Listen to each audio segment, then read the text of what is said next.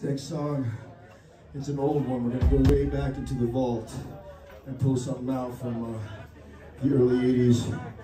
And uh, it's funny, you know, when you write a song and it's still true 20, 30, 40 years later, it's a little fucking scary. It goes out to my friends, my family, and all the people over in the Ukraine right now.